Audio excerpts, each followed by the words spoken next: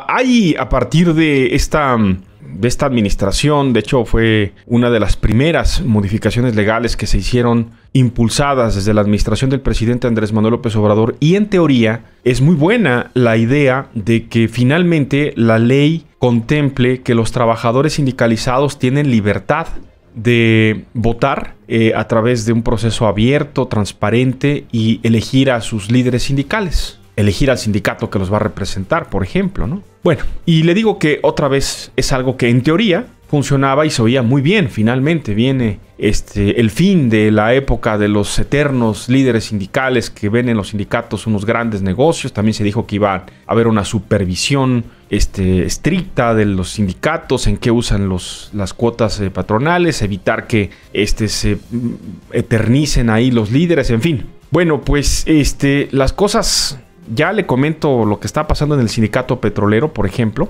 Es un ejemplo claro. Mire, en los hechos, ¿eh? Vamos a ver los hechos del sindicato petrolero. El sindicato petrolero está. Nada más quitaron a Carlos Romero de Champs, pero toda la estructura del sindicato petrolero es exactamente la misma que venía funcionando con Peña Nieto. Exactamente la misma. Además, sus estatutos eh, dicen que eh, no es necesario que nombren un nuevo secretario general, así que pues ponen un encargado de despacho, que es como está funcionando. Lo más que pudo lograr el gobierno del presidente López Obrador con ese sindicato, con ese duro y poderoso sindicato, fue que en 2019 les disminuyeron el pago de prestaciones, viáticos al 75%, disminuyó el número de trabajadores comisionados para estar en la estructura sindical, ya fuera en el Comité Nacional o en los comités estatales, en fin, tratar de eficientar hasta donde fuera posible. Del 2019 a la fecha, el gobierno federal se ha ahorrado por estas medidas, buenas medidas, por lo menos 1.500 millones de pesos. Pero ¿sabe qué es esto en términos del dinero que maneja el sindicato? No es nada. Debería ser mucho más. Pero así andamos en todos los sindicatos. Les platicaba yo, por ejemplo, aquí les he venido contando cómo es posible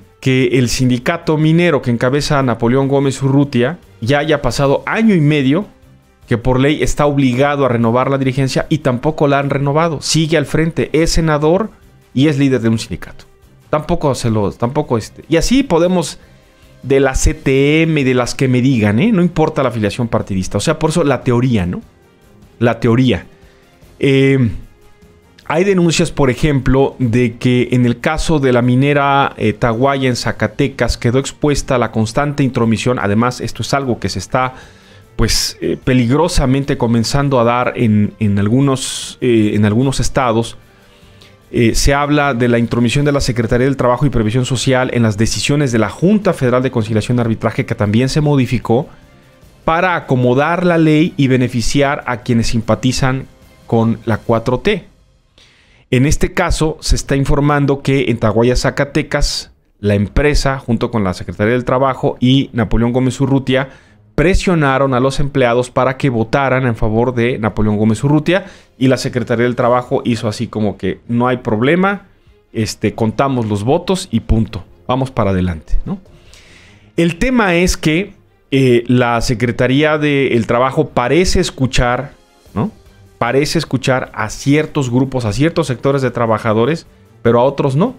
Por ejemplo, ahí están los, los ex trabajadores mineros de Cananea el grupo de los 719 que llevan pidiendo, exigiendo, no que se haga justicia, ya se hizo justicia, ya hay un laudo, ya hay un dictamen, que obliguen a, a Gómez Urrutia a que les pague los 55 millones de dólares que les robó y para ellos no hay atención.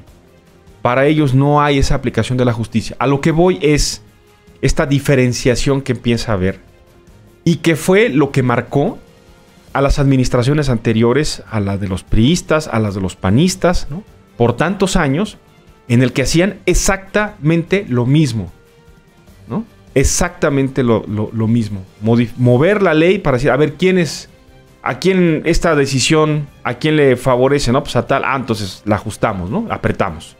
Esta decisión, ¿a quién le favorece? ¿no? Para un aliado, ah, entonces la aflojamos. Qué peligroso de verdad si eso comienza a suceder. ¿Eh? Qué peligroso si eso comienza a suceder. Aquí por lo pronto lo vamos a seguir eh, mencionando y subrayar, porque aplica para todos lados, ¿eh?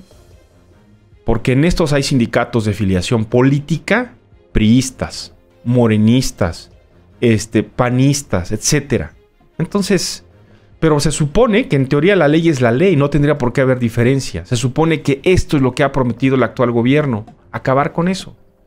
Si eso es lo que comprometió el gobierno, eso es lo que le estaremos exigiendo al gobierno.